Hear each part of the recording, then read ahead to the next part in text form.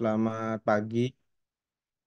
Selamat pagi teman-teman. Terima kasih eh, atas waktunya yang diberikan eh, Pak Cahyo untuk eh, saya untuk bisa mengisi di kelas F ya Pak ya. Ini Pak ya. Eh, eh, jadi perkenalkan eh, teman-teman ya. Eh, saya nama saya Fajar Satria. Eh, jadi saya ini tadi seperti yang Pak Cahyo bilang alumni 2011. Jadi Bisa, dibilang udah agak jauh banget nih gapnya antara saya dan teman-teman nih di sini ya, hampir 14 tahun gitu ya. Jadi eh, jadi mungkin saya juga as- sudah asing mungkin dengan teman-teman juga mungkin jarang melihat eh, saya juga karena saya juga sekarang domisili sudah tidak di Surabaya. Jadi eh, saya sekarang lagi stay di Jakarta di sini. Kebetulan sekarang eh, pekerjaan saya as a senior product manager di salah satu eh, perusahaan di EdTech. Jadi eh, biasanya saya juga day to day-nya juga ngelit tim engineer juga eh, sebagai IM juga eh, menyambi lah ya. Menyambi sebagai engineering manajernya juga buat teman-teman di squad saya lah squad leader gitu. Saya as, acting as squad leader gitu. Mungkin eh, kalau nanti teman-teman mau bertanya silahkan Eh, mungkin di sini saya konteksnya lebih banyak di sini lebih ke sharing-sharing dulu ya jadi eh, supaya teman-teman juga bisa eh, paham eh, sebenarnya di dunia industri itu trennya sekarang seperti apa gitu ya. Dan apa sih kira-kira yang lagi dibutuhkan atau di difavoritkan sama market gitu ya, terutama di bidang IT gitu. Nah, mungkin kalau teman-teman baca ya, ya, di banyak eh, berita, di banyak eh, sosial media juga itu, sekarang trennya itu istilahnya ada yang namanya tech winter ya, teman-teman ya. Kalau eh, teman-teman baca tuh ada sekarang tuh istilahnya tech winter. Apa sih tech winter itu? Tech winter itu sekarang adalah fase di mana memang banyak declining eh, dari perusahaan-perusahaan yang startup gitu. Jadi banyak yang layoff, banyak yang eh, tutup gitu-gitu ya. Startup-startup gitu. Tapi eh, teman-teman kalau bisa eh, menganalisa lebih jauh ya, sebenarnya perusahaan-perusahaan yang tutup itu sebenarnya ada ada why-nya gitu ya teman-teman ya. Ada ada reason di mana kenapa si perusahaan itu tutup gitu. Nah, kalau teman-teman mungkin merasa khawatir, Mas, eh, berarti eh, dunia IT udah gelap nih, udah di fase down eh, downhill gitu ya, misalnya Eh, apa namanya declining gitu gitu ya, marketnya declining. Ya in aggregate iya, ya Karena dulu itu eh, kita sempat berada di fase puncak gitu. Di fase puncak, sekarang kita declining nih, downhill dari eh, ibaratnya bubble-nya itu udah pecah gitu ya. Bubble-nya udah pecah. Jadi di mana dulu teman-teman sering ada nama istilah hijack ya, hijack talent ya dari satu perusahaan ke perusahaan lain. Biasanya sih itu startup. Mereka digaji quadruple, eh, eh, double, quadruple itu kayak gitu possible. gitu. Tapi sekarang eranya lebih kompetitif teman-teman gitu. Sekarang karena udah banyak bootcamp, udah banyak eh, lulusan-lulusan IT di luaran sana yang siap berkompetisi dengan teman-teman gitu. Gitu. Jadi eh, I think udah bukan saatnya lagi kita eh, istilahnya terlalu dep- apa ya berbangga dengan oh saya ini sarjana komputer loh Mas gitu. Saya lulusan IT gitu. Eh, berarti saya bisa bisa langsung nih eh, tune in dan tap into the market gitu ya eh, dengan sesuai dengan kebutuhan. Eh, nggak gitu sih konsepnya teman-teman. Jadi teman-teman juga harus tahu bahwa dunia IT itu luas gitu ya. Sekarang yang lagi yang lagi naik daun kan ada data scientist, data analyst gitu-gitu ya, data engineering dan juga ada yang pasti ada artificial intelligence dan machine learning in- kayak gitu-gitu ya. Jadi teman-teman bisa tuh eh, melihat trennya seperti itu. Nah, yang berbeda adalah ketika kemarin eh, bubble startup itu pecah dan sekarang itu agak naik lagi ya. Kalau kemarin tuh yang lagi ngetren tuh kan Web3 ya, tentang blockchain, tentang eh, kripto kayak gitu-gitu ya yang itu memang backbone-nya memang pakai teknologi gitu. Nah, sekarang itu udah shifting nih. Udah shifting sekarang bergerak ke AI, artificial intelligence gitu. Nah, sekarang marketnya lagi ke sana gitu. Jadi eh, lebih ke arah bagaimana sih kita preparing untuk untuk industri yang seperti itu. Nah, eh, kebetulan banyak sebenarnya yang teman-teman bisa coba gitu. Bisa coba dan bisa lakukan gitu. Terus kemudian eh, gimana nih eh, preparation Mas kalau misalnya ka- udah kayak gini nih, udah terlanjur marketnya udah terlanjur saturated, eh, udah terlanjur bloated, udah terlanjur banyak orang yang berkompetisi pada bidang yang sama gitu. How we can survive gitu kan? Gimana gitu caranya kan? Ya, paling benar adalah kita bisa adaptasi ya, teman-teman. Adaptasi dengan kebutuhan marketnya seperti apa gitu. Karena memang tren marketnya lagi naik tentang spesifik bidang, tidak ada salahnya kita juga cari opportunity di situ. As long as memang itu eh, bisa promising gitu. Nah, be- belajar juga dari eh, kasus-kasus yang kemarin ya, kayak ada blockchain, ada yang sebelumnya kripto kayak gitu-gitu. Sekarang itu kalau perusahaan-perusahaan IT itu teknologi itu memang sekarang lagi eh, di fase di mana mereka udah nggak bisa lagi nih burning cash gitu ya nggak ada tuh lagi burning burning money gitu yang yang berlebihan gitu kayak pra COVID gitu ya before pandemic gitu ya 2018 2017 nggak bisa sekarang perusahaan itu dituntut even itu startup untuk segera profit teman-teman berprofit jadi trennya udah berubah. Eh, investor eh, VC juga udah well known ya. Mereka itu udah paham gimana nge-treat eh, si perusahaan-perusahaan ini gitu. Atau si market tuh gimana tappingnya gitu. Jadi eh, so far kurang lebih itu landscape sekarang ya teman-teman ya gitu. Jadi teman-teman kalau misalnya interest eh, discuss gitu boleh kita eh eh, ini ya. Saya biasanya juga nulis ya teman-teman ya. Jadi coba eh, saya share screen di sini. Eh, Oke. Jadi kebetulan saya juga nulis di blog saya ya. Ini teman-teman bisa visit di sini sebentar.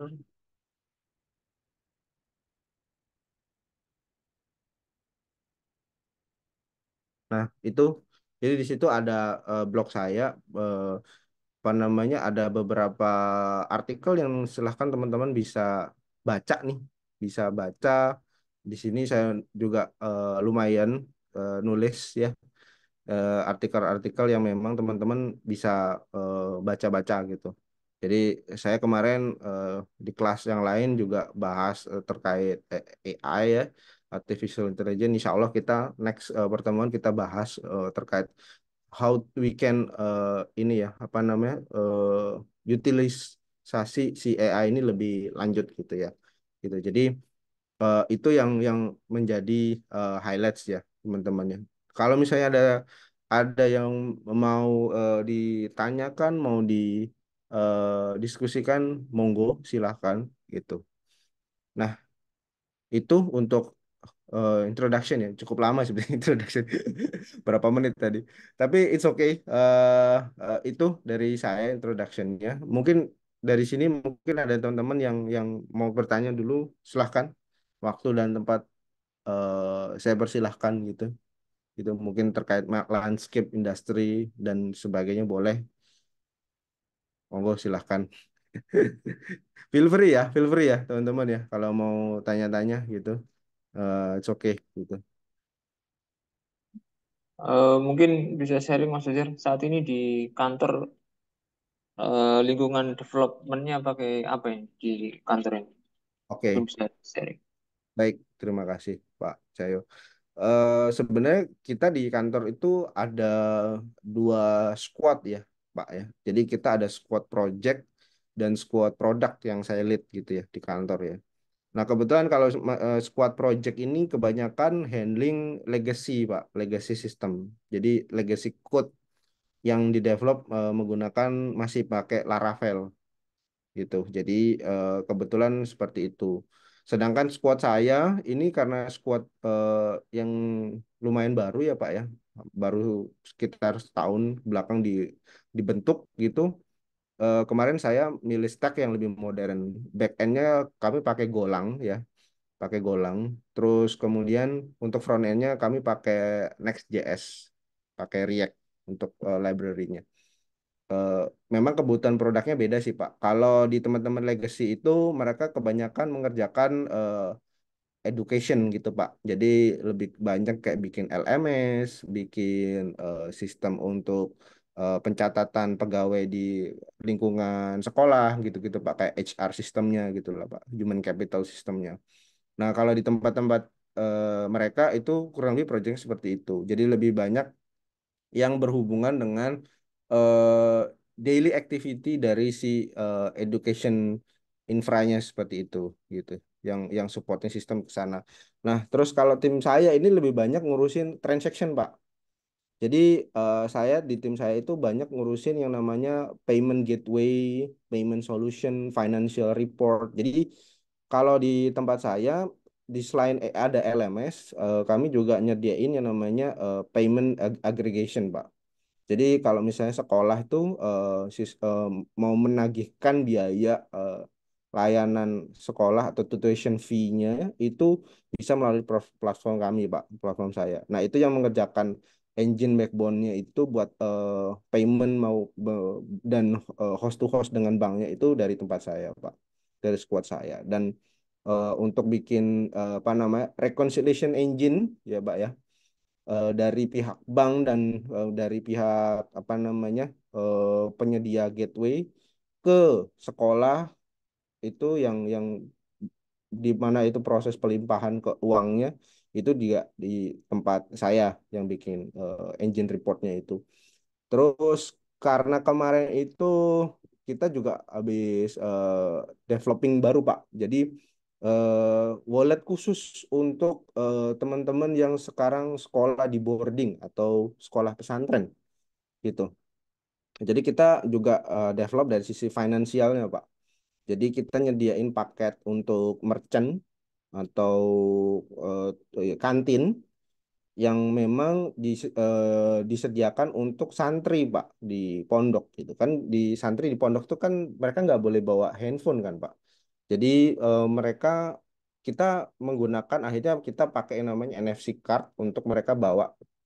Itu untuk mereka transaksi di di apa namanya di kantin kampus dan kantin sekolah gitu Pak jadi sekarang lagi banyak diadopsi di di pondok pesantren di daerah Jawa Barat dan Jawa Timur gitu.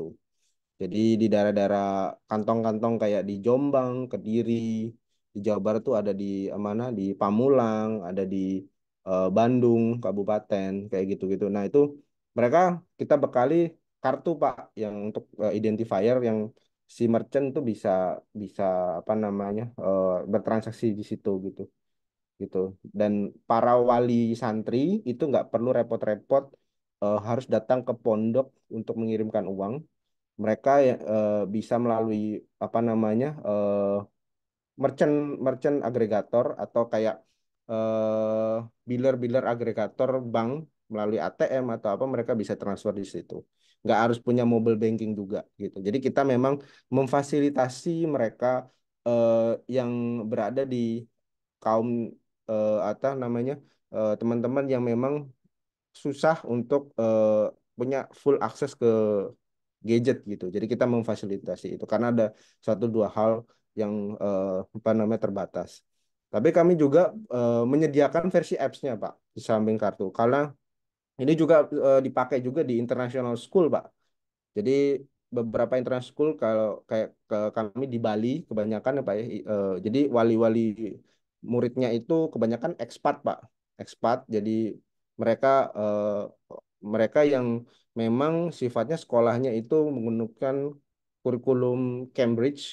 Jadi mereka itu ya udah eh, ada ketika summer break mereka top up, habis itu mereka eh, isi walletnya dan mereka bayar tuition fee-nya dari uh, platform yang saya dan uh, tim sediakan gitu Pak. Jadi itu yang yang menjadi uh, highlights di situ. Jadi Eh, kurang lebih itu teman-teman eh, yang dipakai di apa ya internal itu. Selain di DevOps ada squad sendiri DevOps yang memang eh, lebih banyak eh, maintenance eh, terkait infra ya Pak ya. Kayak eh, server kayak network kayak gitu-gitu. Gitu. Dan mostly mereka sekarang udah pada migrate Pak, udah pada migrate. Kemarin kita eh, server tuh on premise jadi kita host server sendiri gitu. Akhirnya kita migrate ke cloud sekarang gitu. Karena dari segi maintenance dan dari segi cost itu eh, lebih cocok buat klien-klien kami gitu Pak untuk yang server yang menggunakan server gitu gitu sih Pak saya mungkin Ya, dari lain eh, ada juga. ada yang mau ditanyakan? Kalau belum, biar Mas Fajar lanjutkan dulu aja sesi paparannya.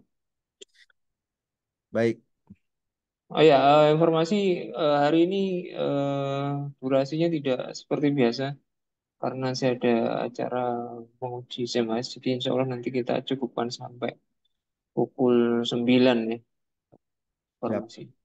Monggo dilanjut Mas Fajar. baik terima kasih Pak Cahyo oke eh, jadi di sini saya sudah siapkan materi jadi mungkin nanti saya split menjadi dua pertemuan begitu ya karena mungkin eh, apa namanya eh, waktunya terbatas. Nah, oke, Oke, eh, jadi kebetulan kemarin eh, saya nanya ke Pak Cahyo juga eh, terkait sekarang materinya sudah sampai mana gitu ya. Eh, kemarin di kelas se- yang lain itu itu menggunakan atau masuk ke materi eh, OOP gitu ya. Nah, berhubungan dengan OOP sebenarnya ada memang implik, eh, implementasinya langsung nih teman-teman di dunia eh, teknis gitu ya atau di dunia industri gitu.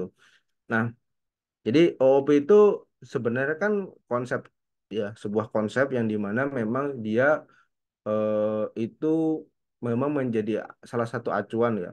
Biasanya dipakai di bahasa pemrogram- pemrograman yang memang dia konsepnya classes class basis gitu ya, kayak Java, kayak eh, apa namanya PHP kayak gitu-gitu ya. Dan itu memang eh, seperti itu gitu. Banyak mengutilize itu. Nah, Kenapa saya menjelaskan terkait solid principle gitu? Karena nanti nih teman-teman ya, ketika teman-teman mau jadi engineers ya, interview nih, masuk pasti ini ditanyain. Pasti, yakin saya. Ini adalah salah satu eh, apa namanya? basic basic knowledge yang teman-teman harus punya sebagai engineer ya, even teman-teman junior gitu. Karena eh, di sini teman-teman juga harus eh, paham juga konsepnya dari OOP sebelum bisa implement si Solid itu sendiri gitu. Oke. Nah, jadi Solid itu apa sih? Solid itu akronim sebenarnya, kepanjangan dari Single Responsibility, Open Close Principle, Risk of Substitution Principle, Interface Segregation, sama Dependency Inversion. Mungkin karena waktunya terbatas, saya eh, jelaskan beberapa poin. Nanti teman-teman silahkan eh, apa namanya bertanya kalau misalnya bingung. Dan di pertemuan selanjutnya akan saya lanjutkan gitu. Kurang lebih begitu. Nah, jadi si eh, apa namanya? eh, kalau teman-teman sudah eh, pernah baca bacanya baca bukunya ini Uncle Bob. Ada yang udah pernah baca bukunya Uncle Bob belum? Robert C. Martin. Ada yang pernah baca belum bukunya Uncle Bob? Ini cukup banyak nih eh, apa namanya? bahas-bahas beliau nih bahas-bahas terkait programming dan sebagainya gitu. Eh, cukup banyak gitu. Oh iya, Mengenai clean code ya Pak, ya Pak ya. ya benar-benar clean code. Betul, betul clean code. Salah satunya clean code yang dibahas sama Uncle Bob ini. Ini cukup cukup populer di banyak teman-teman eh, engineering karena di situ banyak jelasin konsep konsep. Sudah sejauh mana Mas eh, baca clean code-nya? Em, masih berapa halaman ya? Belum sampai selesai sih. Seperempat lah. Oh, seperempat. Mm-mm. Mantap, mantap, mantap. Keren, keren, keren. Jadi eh itu memang eh, salah satu yang dibikin sama Uncle Bob ya, buku ya, Clean Code. Silakan teman-teman yang lain bisa baca Eh, itu buku bagus banget kok teman-teman. Itu dijelasin secara eh, apa namanya detail ya.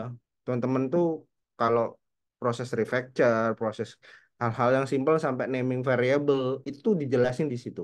Jadi semua itu eh, dijelasin di dalam satu buku itu dan itu bukunya menarik gitu. Kalau teman-teman mau, udah banyak kok yang jualan di marketplace ya bukunya, nggak terlalu susah dicari kok.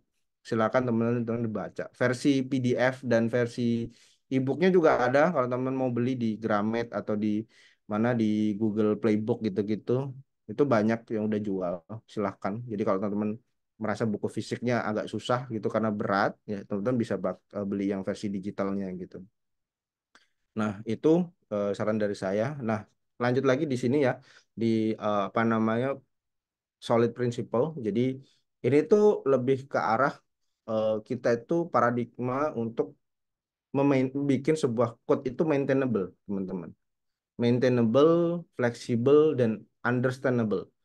Kenapa kita harus bikin code itu maintainable, fleksibel, dan understandable? The question itu kayak gitu. Jadi mungkin kalau sekarang teman-teman nulis code itu ya nulis code gitu, hanya nulis code aja gitu, tanpa ada meaningfulnya, ada purpose-nya atau tujuannya. Nah itu akan menjadi uh, problem ketika nanti teman-teman bekerja sama dengan orang gitu. Karena ketika misalnya teman-teman nulis yang tidak maintainable, tidak fleksibel, dan tidak easy to understandable, maka orang lain yang membaca code dari teman-teman akan bingung. Ini maksudnya apa ini code ini gitu. Sangat uh, uh, tidak clear gitu. Message di dalam code-nya itu tidak jelas gitu. Nah, alhasil makanya uh, bikin orang itu sering banget tidak paham dengan code yang kita tulis sebelumnya gitu. Nah, jadi solid ini adalah sebuah design principle gitu yang yang dibuat untuk memudahkan. Karena gini, teman-teman. Semua ini yang berhubungan dengan teamwork ya, menurut saya itu perlu yang namanya standarisasi. Standarisasi menggunakan istilahnya kalau di luar negeri itu convention atau konvensi kalau di sini bahasa ini ya. Konvensi. Kenapa kita harus pakai convention? Supaya sama nih standarnya nih supaya developer A, engineer A itu nggak uh, punya pattern sendiri-sendiri nih, nggak punya uh, apa namanya uh, standar yang beda-beda. Standarnya satu gitu. Cara nulis code-nya gini nih. Cara bikin code-nya kayak gini nih. Nulisnya seperti ini. Nah, itu yang menjadi penting supaya ketika kalian melakukan uh, nulis code di sebuah project bersama teman-teman kalian, kalian punya acuan pakem yang jelas nih, nggak berantem quote-nya gitu. Jadi itu sebenarnya fungsi dari si uh, convention itu ya, standarisasi dari code ya sebenarnya. Oke, jadi ada lima, kita coba bahas beberapa poin dulu. Oke, yang pertama single responsibility principle. Maksudnya gimana? Jadi kalau kalian belajar uh, programming ya, khususnya bahasa-bahasa yang OOP ya, kayak Java gitu-gitu. Nah, itu ada uh, poin di mana kalian harus bikin namanya single responsibility principle. Kenapa harus bikin single responsibility principle? Oke, di sini ada beberapa poin udah saya mention ya. Pertama, ciri-ciri yang harus diterapin di single responsibility principle adalah A. Uh, satu, a class should have one only reason to change. Gimana tuh maksudnya, Mas? Jadi gini, kalau misalnya nih teman-teman udah mau bikin sebuah kelas ya di dalam sebuah uh, apps gitu ya, code gitu ya. Teman-teman uh, kalau mau bikin sebuah kelas ya udah satu purpose aja gitu. Jangan jangan dirubah-rubah gitu. Jangan sampai teman-teman bikin kelas itu sifatnya bloated atau sifatnya uh, dicampur-campur gitu, gado-gado lah gitu ya. Contoh, kelas uh, sama teman-teman mau bikin kelas uh, mobil, ya udah kelasnya kelas mobil jangan dicampur dengan uh, atribut atau function yang tidak ada hubungannya dengan kelas mobil. Gitu ya.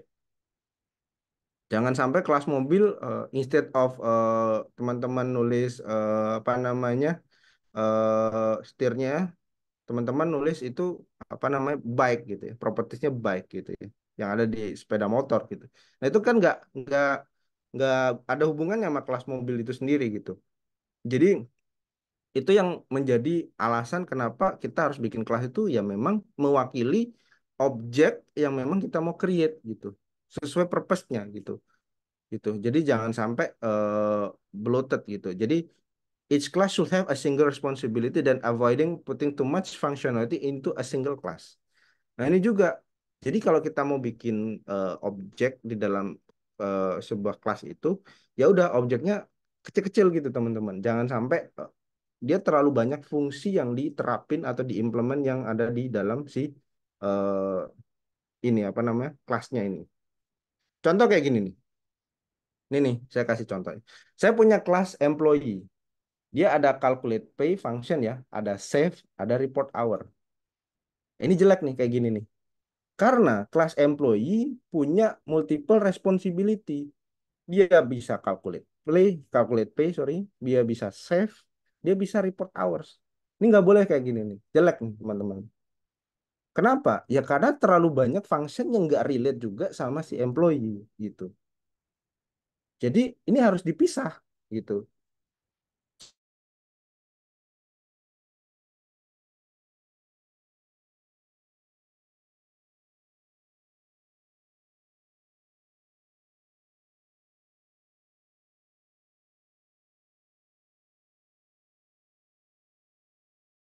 Punya function report hours, kita bisa uh, kasih namanya uh, bikin kelas lagi pay calculator, dia bisa calculate pay, bikin employee repository yang dia bisa nge-save. Jadi instead of kita tadi bikin ini jadi satu kelas, ya, kita pecah menjadi tiga kelas yang berbeda.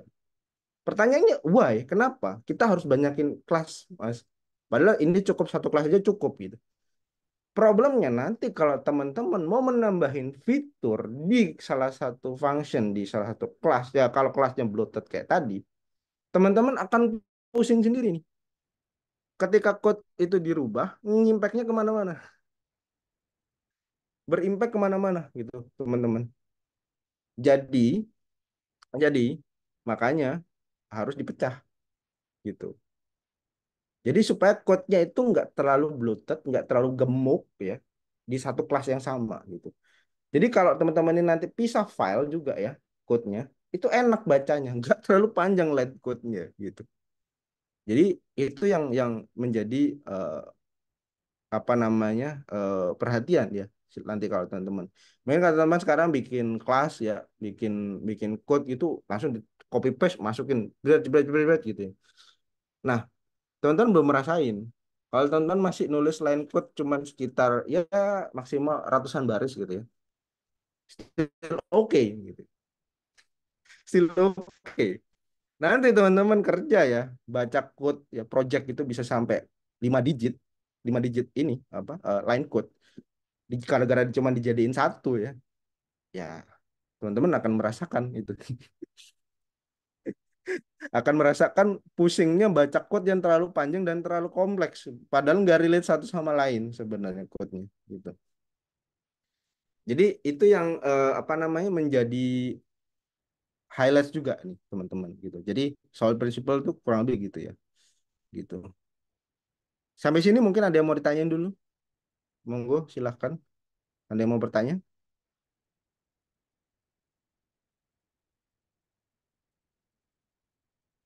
Belum ada ya? Oke, belum ada. Saya lanjut nih. Nah, next. Setelah tadi S, sekarang O. O ini apa prinsipnya? Ya. OCP classes should be for extension able to extend class behavior without modifying its source code. Ketiga, achieve through abstraction and polymorphism. Nah, abstraction and polymorphism ini kan part of OOP ya. Jadi solid ini langsung implement gitu. Oke, saya jelaskan dari poin pertama. Classes should be open for extension but closed for modification. Maksudnya gimana? Kalau kalian bikin kelas ya, kan biasanya itu ada yang nulis bikin, bikin public class, public class, public class gitu. It's okay kalau buat awal-awal baru-baru boleh gitu. Tapi nanti kalau teman-teman terlalu sering bikin public class, public class dan public atribut, Nah, itu bahaya juga itu. Bahaya juga teman-teman. Itu akan sangat berbahaya ketika nanti teman-teman nih bikin itu terlalu banyak hal yang di publik gitu. Security-nya kurang baik nanti. Gitu. Karena ada kelas lain yang bisa nge-modify uh, source yang ada di dalam kelas yang teman-teman bikin gitu. Jadi itu yang uh, harusnya dihindari juga. Kedua, you should be able to extend class with behavior without modifying its source code. Nah, ini kan lebih ke arah kalau misalnya teman-teman bikin uh, inheritance kayak gitu-gitu, itu uh, bisa diimplement seperti itu salah satunya. Terus yang ketiga, achieve through abstraction and polymorphism. Nah, ini salah satu implementasi juga ya. Kalau mau bikin kelas itu juga bisa nih menggunakan abstraksi dan polymorphism pada saat creating kelasnya. Gitu. Contohnya gimana, Mas? Contoh, contohnya kayak gini. Ini contoh jeleknya ya. Contoh jelek nih contohnya. Pertama, kalau teman-teman mau bikin kelas, misalnya di sini ada area kalkulator misalnya. Oh, di situ ada function double calculate area misalnya.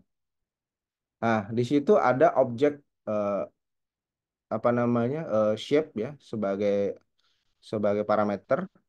Kemudian di situ baru dicek tuh if shape instead of uh, bla bla bla dan seterusnya dan seterusnya gitu. Nah ini kode kode ini juga kurang baik teman-teman. Ya kurang baik.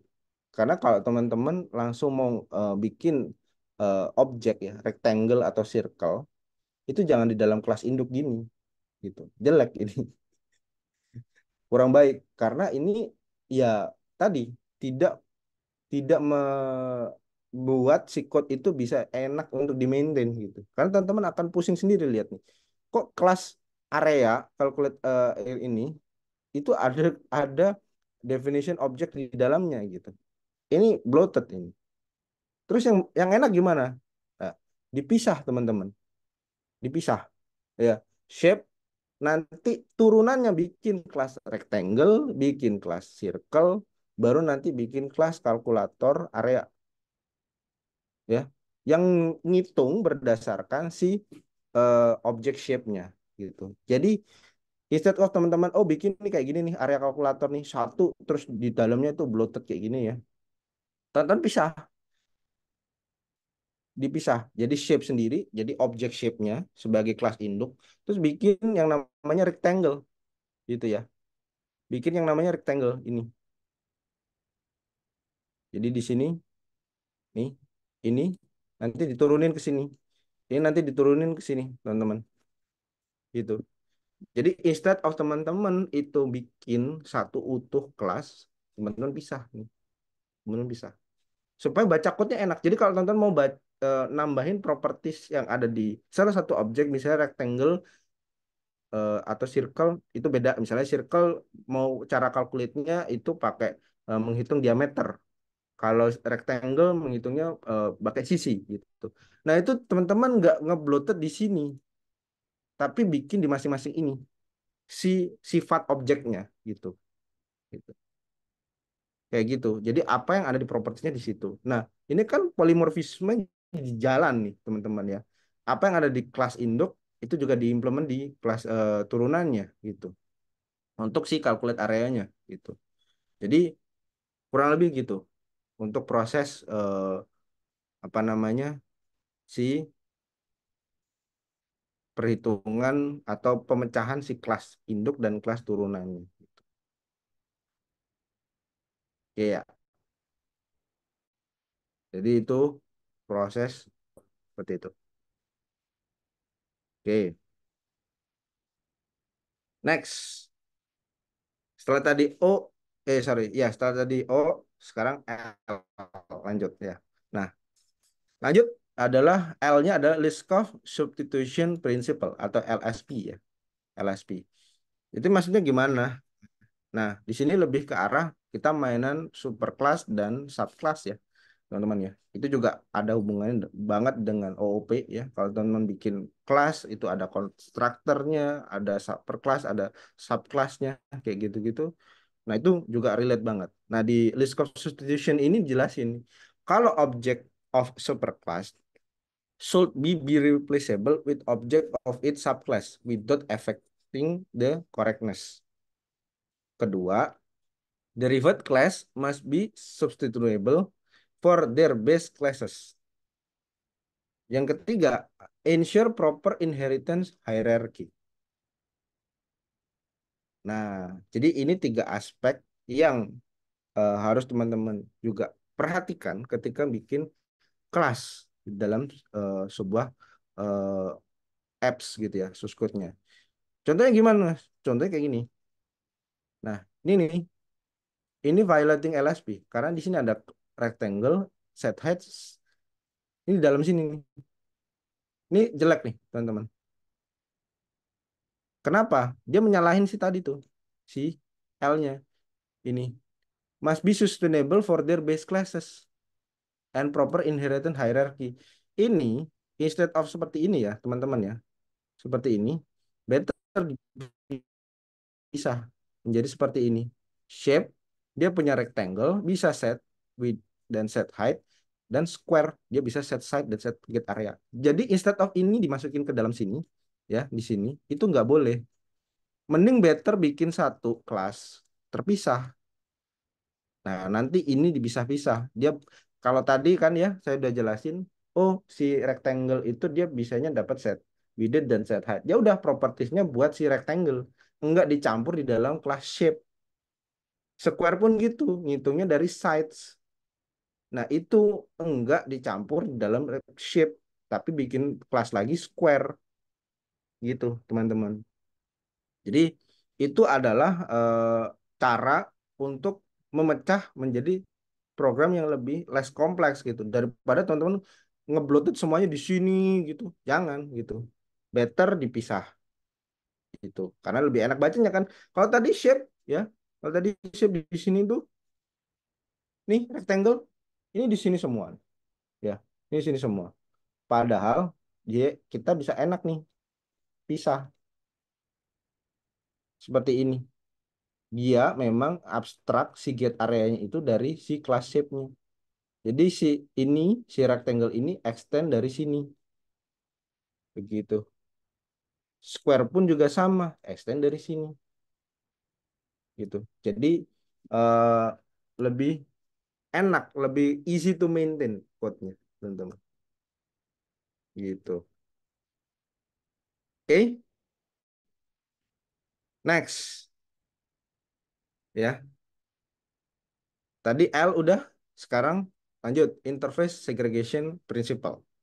Ya. Dia punya tiga key factor juga. Pertama, client should not be forced to depend on interface that they don't use. Terus kedua, prefer smaller, more specific interface over larger monolithic ones.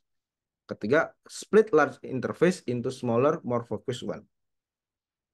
Nah, sebenarnya konsepnya mirip nih, kayak tadi tuh. Interface segregation, cuman kalau ini sekarang kita mau pakainya interface nih. Ya. Nah, kurang lebih kayak gini nih. Nih, contoh yang jelek nih. Kita mau bikin interface ya. Employee dia punya calculate pay, save, and report hours. Nah, ini kurang baik nih. Jelek nih. Kenapa? Harusnya si interface employee itu nggak harus nyambung langsung dengan calculate pay, save, ya. Karena ini bisa dipisah nih. Calculate pay itu karena dia kan masalahnya gini, nggak semua employee itu perlu di calculate pay juga kan. Gitu. Bisa aja calculate pay-nya itu berbeda-beda karena misalnya teman-teman mau nambahin logic buat calculate pay, ya, calculate pay, dan teman-teman masukin calculate pay-nya di dalam interface employee, ini akan ribet ketika teman-teman mau ngupdate si calculate pay ini. Teman-teman harus ngupdate juga employee-nya, gitu. Ya kan? Kalau ini kita pisah, ini jauh lebih enak, gitu ya. Jauh lebih enak, teman-teman. Nih, kalau kita lihat, kita bisa pisah kayak gini nih. Ada tiga interface yang bisa kita utilize, ya ada report table, ada precise table, ada payable table gitu, pay table. Jadi kita bisa lihat nih, oh yang ini khusus untuk payment, yang ini untuk uh, employee uh, registrasi gitu. Kalau ini buat report. Jadi udah memang dipisah-pisah, dipecah-pecah sesuai dengan si uh, employee uh, ininya atributnya gitu jadi nggak bloated jadi satu gitu gitu jadi kurang lebih itu uh, uh, penjelasan dari poin ini. Waktunya karena terbatas sudah 8.53 mungkin uh, sisa waktu ini uh, saya buka untuk sesi tanya-tanya dulu. Uh, monggo saya kembalikan ke Pak Cahyo. Gitu. Baik, terima kasih banyak Mas Fajar. Uh, masih ada beberapa menit. Silakan kalau ada yang mau ditanyakan. Ya, boleh raise hand atau open mic.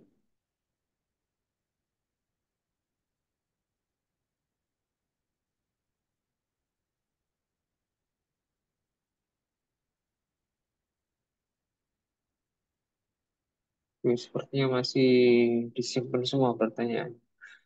Mungkin saya mengawali aja Mas Fajar. Mewakili lah, mewakili. Iya, Jadi di beberapa case disampaikan bab tentang uh, extends ya, inheritance dan interface. Uh, mungkin bisa diberi contoh sederhana kira-kira kapan kita menggunakan extend dan kapan kita menggunakan interface ya. Karena beberapa hal sepertinya ada kemiripan ya. Ini ya, ya, ya. di case-case seperti apa kita bisa memakai extend, kapan kita memakai interface. Mungkin itu dulu. Oke, baik Pak. Oke, jadi uh, mungkin di sini saya uh, masih pakai Java ya Pak ya. Di sini Pak ya, pengantarnya ya Pak ya. Untuk kelasnya ya Pak ya. Ini sebenarnya sebelumnya kan mau ada di kayaknya aktif Pak. Oke, iya iya. Oke, jadi uh, gini teman-teman. Jadi gampangnya gini. Kalau dalam uh, dunia uh, profesional ya, kita uh, konsep ini common gitu ya. Jadi ini kan bagian dari OOP.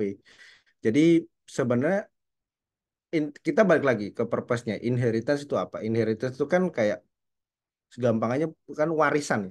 Bahasa Indonesia warisan ya benar. Diwariskan gitu ya. Nah, jadi karena dia diwariskan ya, dia itu uh, apa namanya? purpose-nya itu buat avoiding redundancy. Ya, allowing si subclass-nya itu untuk inherit common functionality dari si induknya. Jadi misalnya nih, teman-teman bikin kelas. Kalau bikin kelas tadi itu contohnya uh, shape ya. Mungkin saya ambil contoh lain itu kayak misalnya teman-teman mau bikin kelas vehicle. Nah, kelas vehicle ini dia kan punya basic properties ya. Kayak dia harus punya engine, dia harus punya motor, eh sorry, dia harus punya ban, dia harus punya pintu, kayak gitu-gitulah ya.